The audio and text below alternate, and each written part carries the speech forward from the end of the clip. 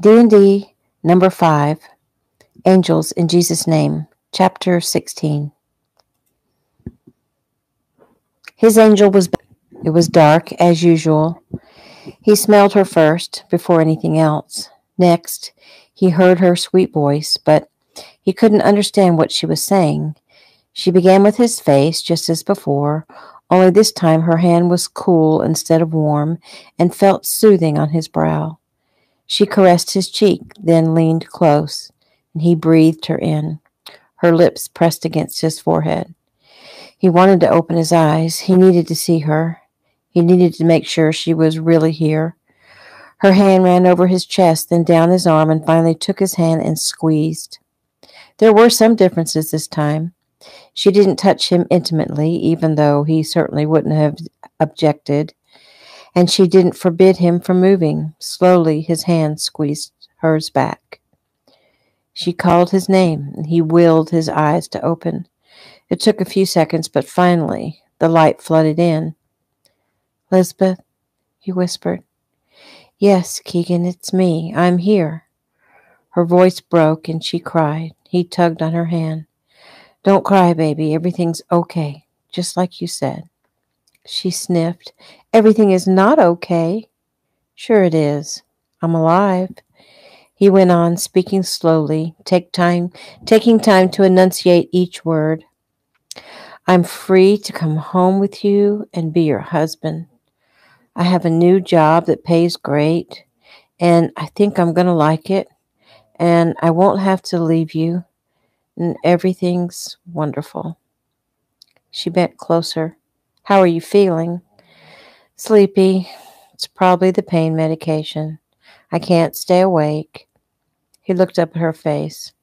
It's so good to see you. John came with you? Yes, he's outside waiting to see you. Let him wait. I just want you. She smiled and bent down and kissed his lips. Is it really all over now? It's over. The doctor says you were lucky.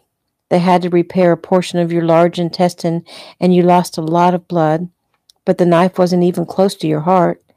If it had been any longer, though, it would have hit a major artery. Close call, huh?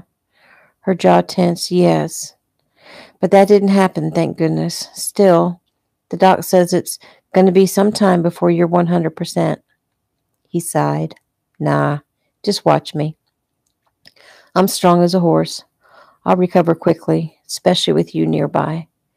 She squeezed his hand and his eyes drifted shut, then snapped back open. I keep falling asleep. It's okay. Rest. I'll stay right here.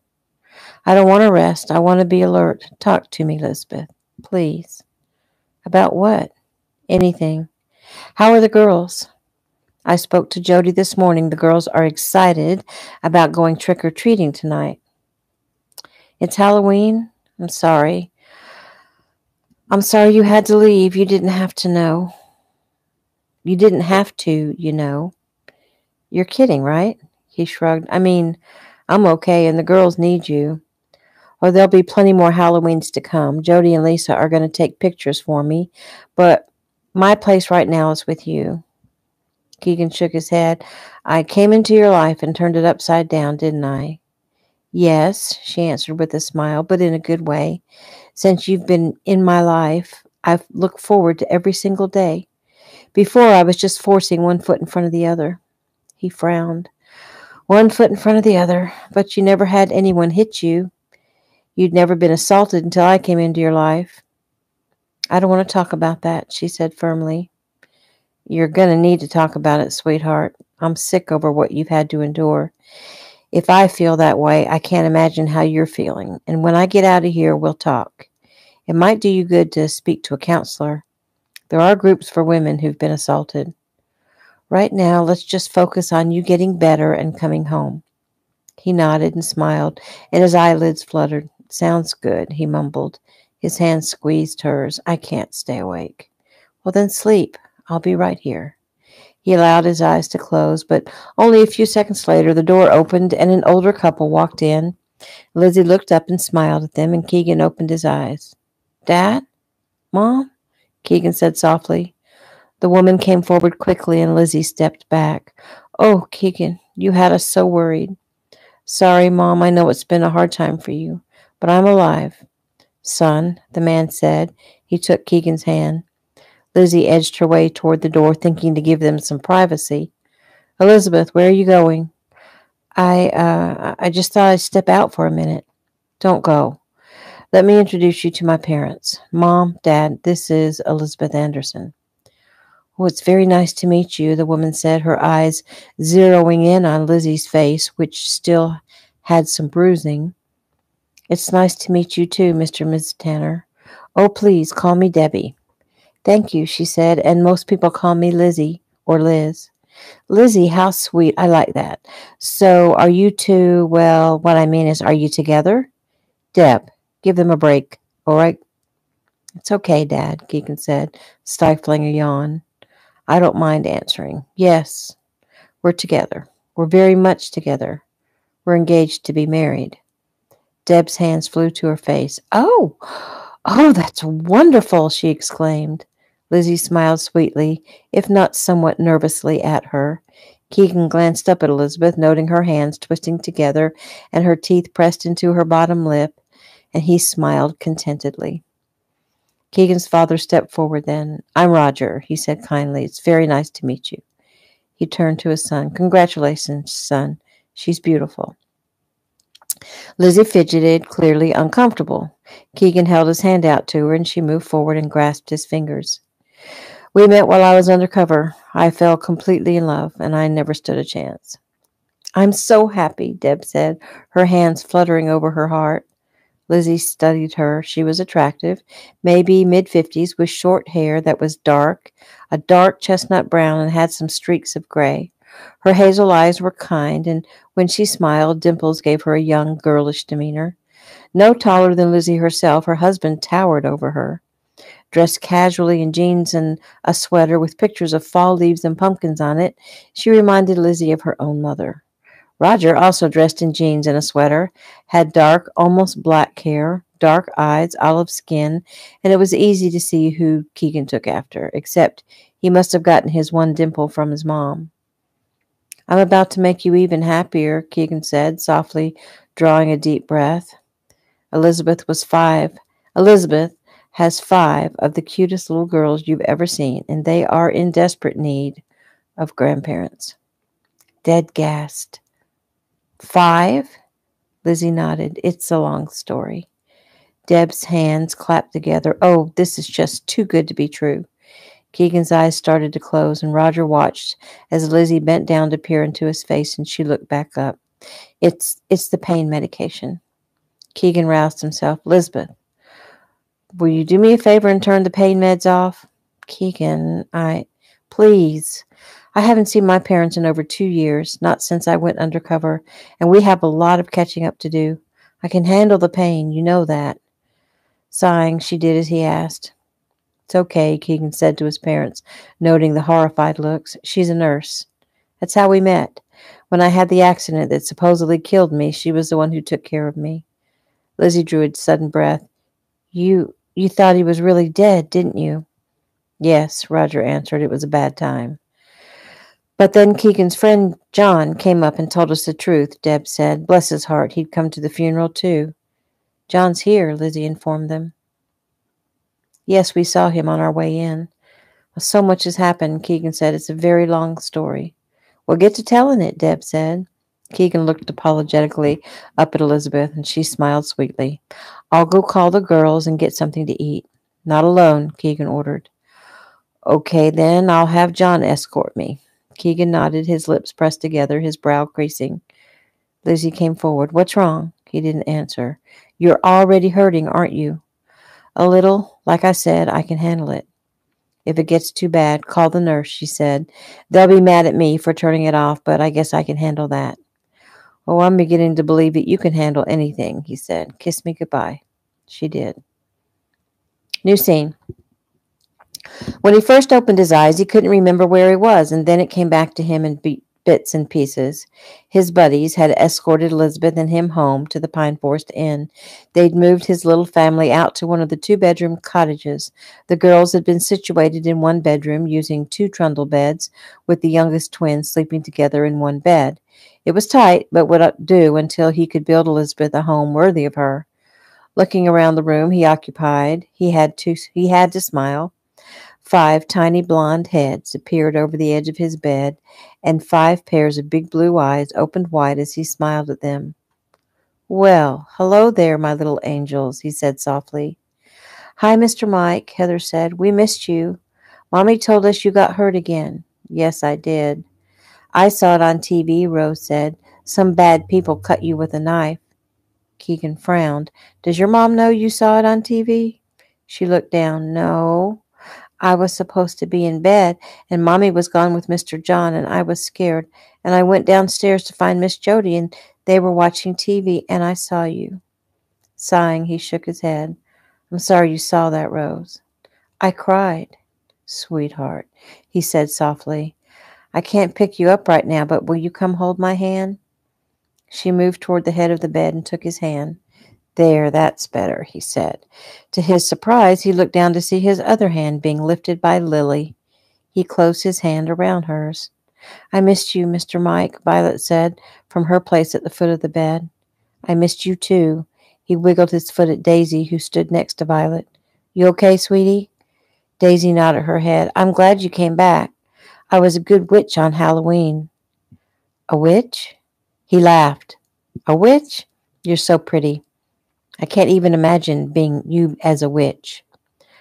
A good witch, she said again, emphasizing the good part. Good witches aren't ugly, Heather explained. We don't believe in being bad witches. Mommy says we can't be anything evil for Halloween because we love Jesus. She says some stuff about Halloween is evil, but we go out and give good. Your mommy is very wise. I was a pirate, Rose said, and Lily was a Yoda. Not a Yoda, Heather corrected, just Yoda. I can say it how I want, Rose argued, her chin lifting defiantly. Keegan chuckled. I bet you were a great pirate, Rose. What were you, Violet? I was a angel, she said softly. Mommy said, 'cause I really am. She's right. And what were you, Heather? She shrugged nonchalantly as if it didn't matter to her what she'd been. I was a cowgirl. Mr. Chaz says I'm a natural on a horse, and I'd make a real good cowgirl. Her eyes lit up. Will you watch me ride, Mr. Mark? Mike? The Mr. Mike made him frown. Time to fix that. Yes, I'll watch you ride very soon. Listen, ladies, I have to tell you something. It's really important. All eyes stared at him quietly. When I told your mom my name was Mike, I was teasing her. I was pretending to be Mike but my real name is Keegan. Keegan? Heather repeated. Uh huh. Why were you teasing Mommy? Rose demanded.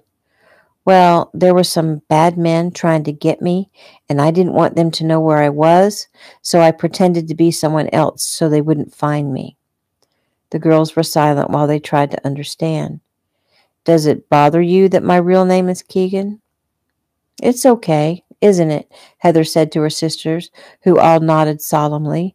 We don't care if your name is Keegan. Okay, Keegan thought, at least that's over with. Time to tackle the next hurdle. Heather, do you remember when you said you didn't want me to ever leave? She nodded, her eyes wary of what he was about to say. Do you still feel that way? Yes. I was worried that you weren't coming back. How about the rest of you? Do you still want me to stay with you? Uh huh, they said. How about you, Daisy? Do you want me to stay? She nodded her head. He tugged on Lily's hand. How about you, Lily, sweetheart? She nodded with a smile. He smiled. Well, good then, because I'd like to stay with you. Forever? Heather asked. Yes, Heather, forever. He and Elizabeth would sit down together and talk to them about getting married, so he didn't go any further. You're in Mommy's bed, Rose said, her little eyebrows arched accusingly. Keegan smiled at her as he quickly tried to figure out how to address the subject. Um, he said, humming the word. Mommy says she doesn't mind sleeping on the couch. Well, I mind. As soon as I get a little better, I'm going to sleep on the couch and she can have her bed back. But, girls, I want to stay with you forever because, well, I really like your mom a lot. Actually, I love her. And do you want to kiss her? Violet giggled. The others started to giggle, their eyes dancing in merriment. He grinned. Actually, yes, I do. Do you want to marry her? Rose asked. The girls burst out laughing as if this was a great joke. Well, so much for waiting for him and Elizabeth to sit down with them and tell them together. Well, I think that would be wonderful, he said. If you marry her, then you have to be our daddy, Heather said, folding her arms across her chest. The others quieted and turned to stare at him. He swallowed hard. Um, yeah, so what do you think about that? Does that bother you? Do you want to be our daddy? she demanded, not bothering to answer his question. They were very much like their mother, Keegan thought. He wasn't sure what would be the best answer. He wasn't sure if what he said here would have some sort of long lasting effect. But all he could do was tell the truth.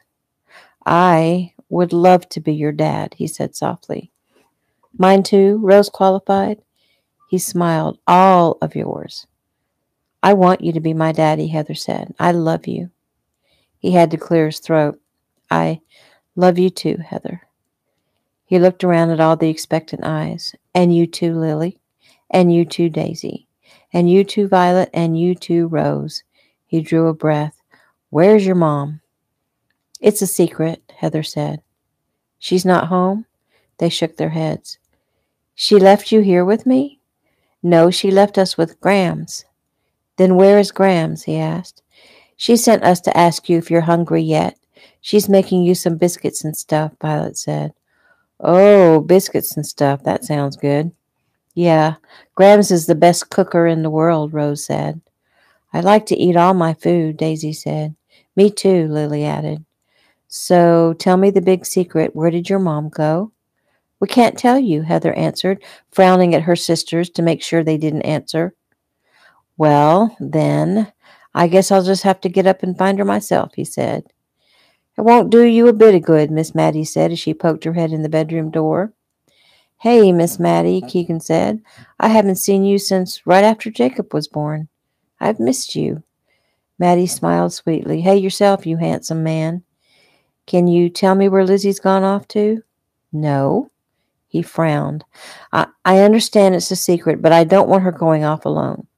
She's not alone. Now, are you ready to eat a little something? He sighed. Well, when you're doing the cooking, I'm always ready. She smiled with pleasure. I'll be back with your tray. New scene. So where is she? Keegan asked, his eyes searching the room.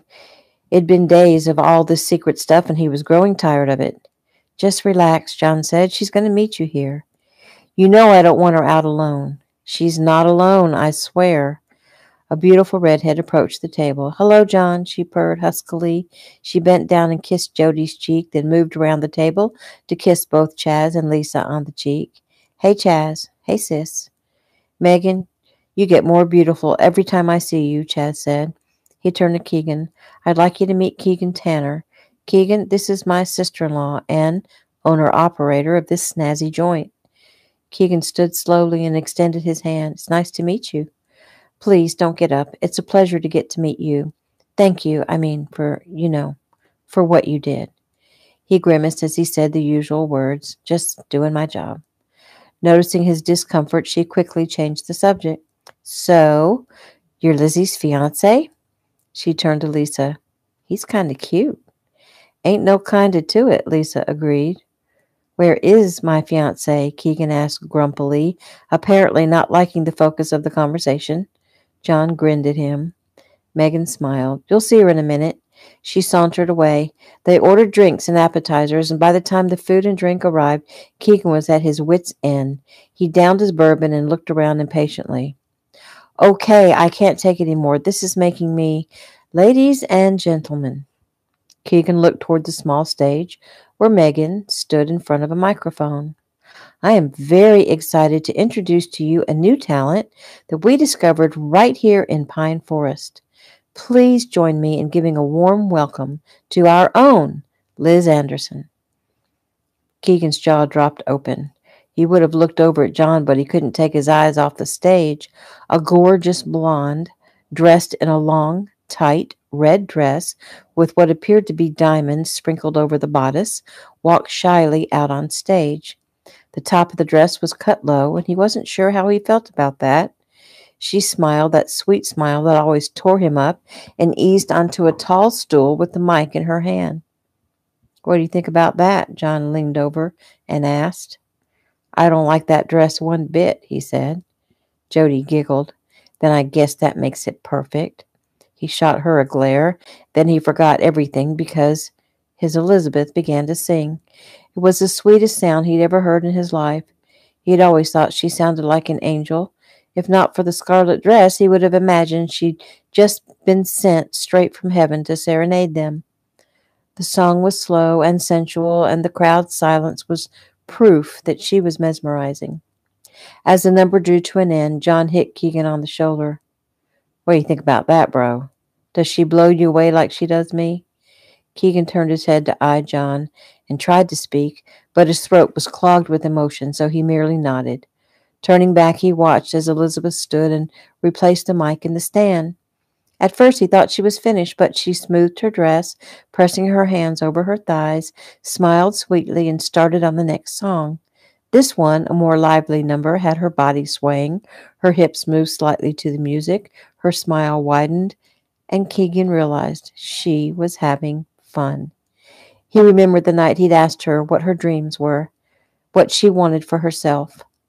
At the time, she couldn't think of anything except getting by, providing enough for the girls. Maybe she'd discovered she really did have desires and dreams. He smiled. She absolutely glowed. He could feel her happiness, and that made him happy. she sang two more songs before she took her final bow, and Keegan grimaced as he pushed himself to his feet to go to the stage and escort her down. Less than a week out of the hospital, he still felt pain, but he didn't care. Hearing his angel sing had been a privilege.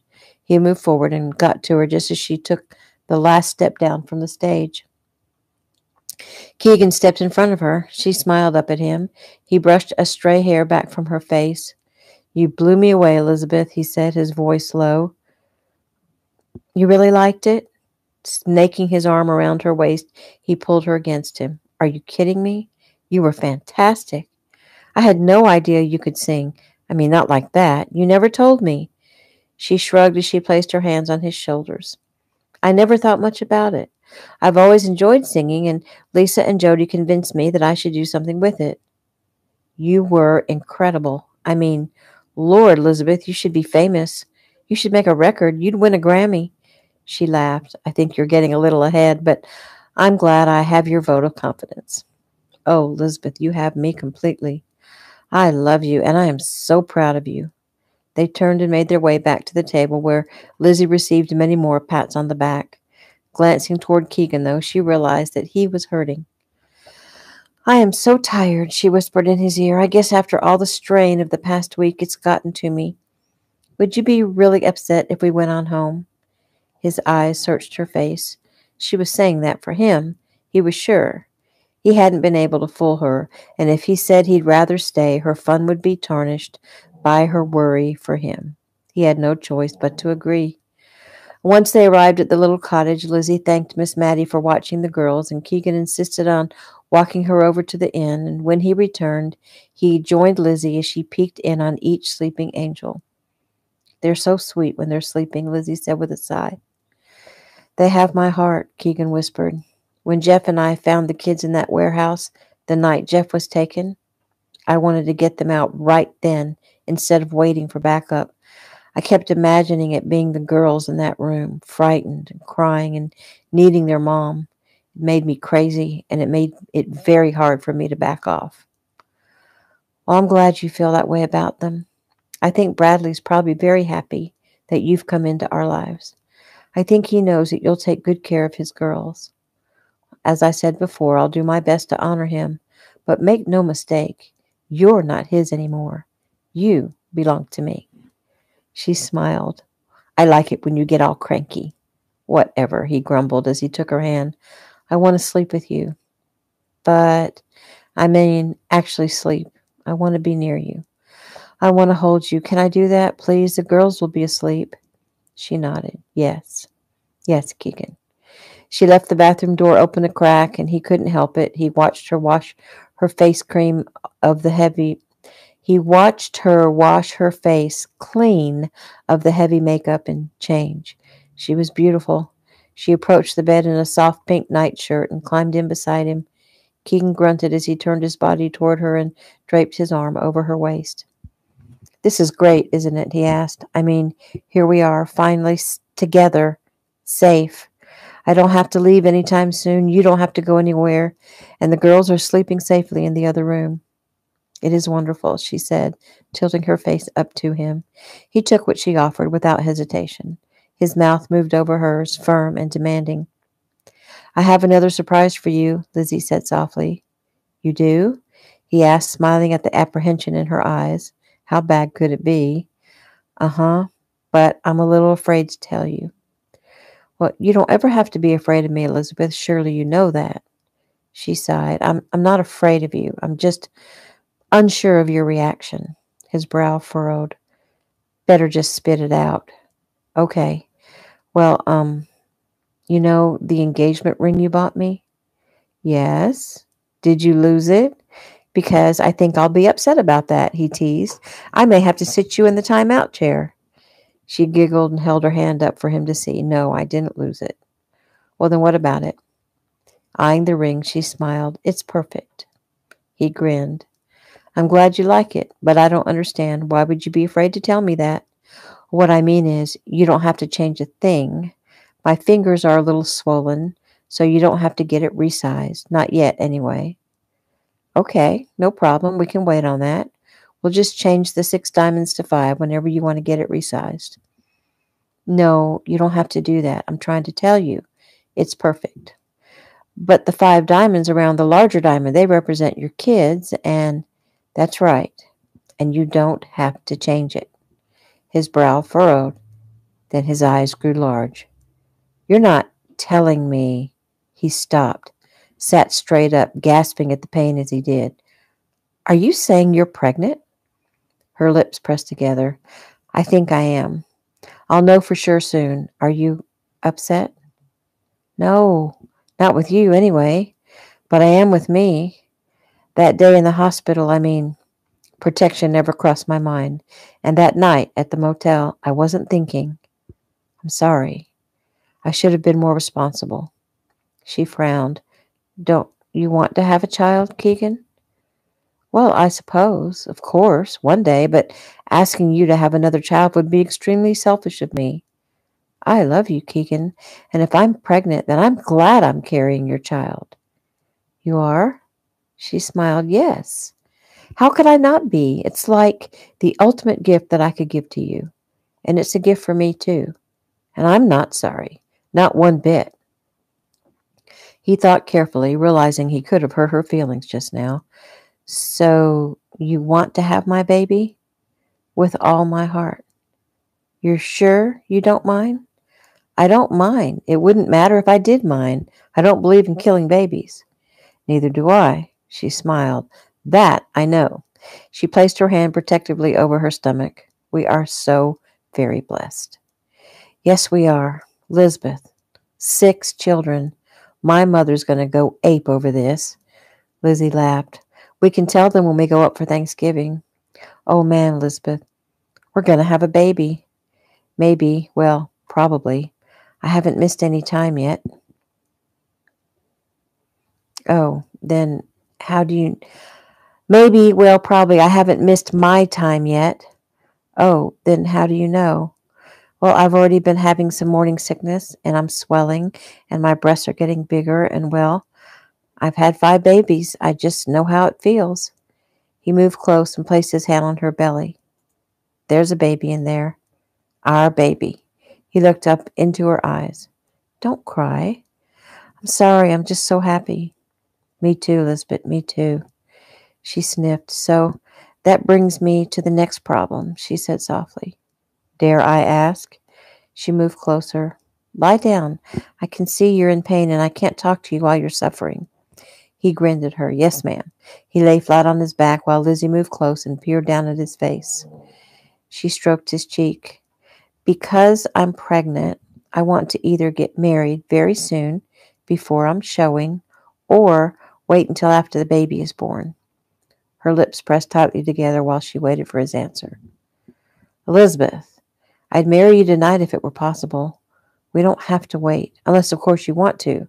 I mean, women, they, they sort of like to do it up big, right? I don't care about that. I just want to be a big, I just don't want to be a big fat prego when I marry you. Playing it safe, he made no comment on her comment. Thankfully, she went on. I mean, I'm already ashamed because I had sex when we weren't married.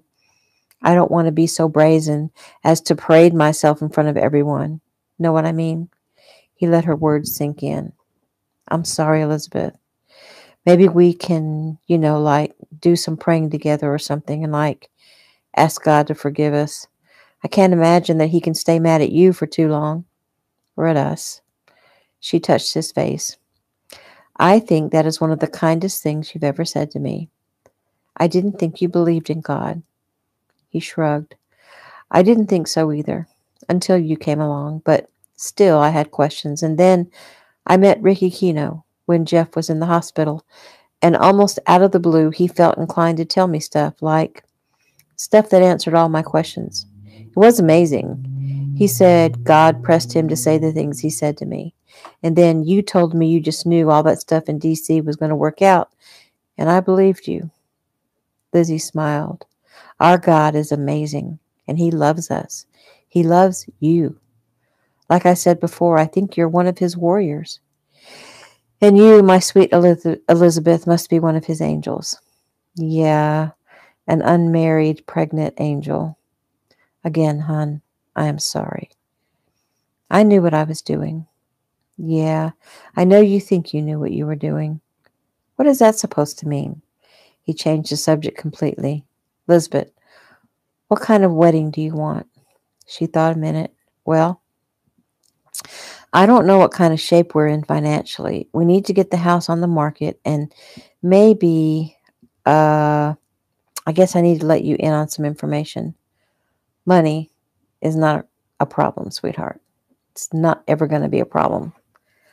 I made good money at the Bureau and I lived on practically nothing for years. Most of my earnings went straight to an account that my father handled. He is a futures genius. And I'm set. We're set. And my parents are rolling in the stuff. You mean you're rich? He smiled. I mean, money is not a problem. Whatever you want, it's yours. Big wedding, big honeymoon, you got it. Anything you want, Elizabeth, for you or the children, there is no problem. I had no idea. Wow. It's like I hit the lottery. She gasped, covering her mouth. Oh, I didn't mean that like it sounds. It's just that, Keegan laughed. It's just that you've always had to struggle. I understand that. I feel relieved to be able to give you and the girls everything you need or want. Lizzie sighed thoughtfully. It would be so nice to buy a Christmas present and a birthday present for each of them without worrying about how I'm going to do it. Their birthdays are all around Christmas, too, aren't they? Violet and Rose were born on Christmas Day. Heather was born January 10th, and Lily and Daisy were born December 19th. Wow, all within a few weeks, he said. And our littlest one, it'll be due when? Do you know yet? Well, I haven't been to the doctor yet, but I'm thinking sometime in July. I guess I'd better get to building our house so we can be all moved in way before the baby comes. Build a house? You're going to build us a house? Well, of course. It's a little crowded in this cottage, don't you think? Do I get to help decide what the house looks like? Of course. He looked up at her face and smiled. Are you happy? I'm so happy I think I might burst. Elizabeth, I've wanted to make you happy for so long now, and I'm happy you're happy. He sighed contentedly. So back to the wedding. I was thinking we may as well put it smack dab in the middle of everything else. What about New Year's Day? Her eyes lit up. Really? You like that idea? Oh, yes. How perfect to start a new life on the first day of the new year. And that will give you about eight weeks to plan. And I'm sure Jody and Lisa are going to want in on that. And if you, if you don't mind, my mom and sisters would probably like to help. Of course, I don't mind. I really liked your mom when I met her in the hospital. We're going to get along just fine. And that is the end of chapter 16.